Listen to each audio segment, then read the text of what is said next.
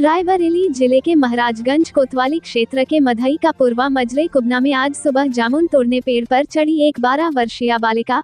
डाल टूट जाने की वजह से नीचे ज़मीन पर आ गिरी, जिससे वो गंभीर रूप से घायल हो गई। बाग में मौजूद लोगों ने आनंद फानन उसे सीएचसी महाराजगंज पहुँचाया, जहाँ उसकी हालत नाजुक देख डॉक्टरों ने प्राथमिक उपचार कर जिला अस्पताल रेफर कर दिया है। आपको बता दें कि मिली जानकारी के मुताबिक आज सुबह लगभग 9 बजे बजे गाँव निवासी राम भरत की 12 वर्षीय पुत्री खुशबू जामुन तोड़ने के लिए पेड़ पर चढ़ी थी।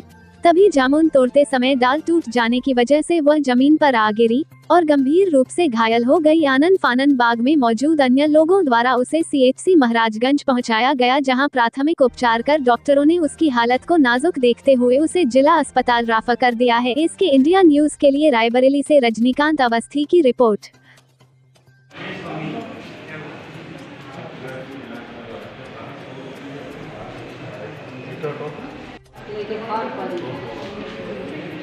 बेटा पैर पर उठाओ।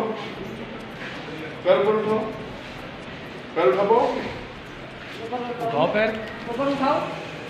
ऊपर जल उठाओ।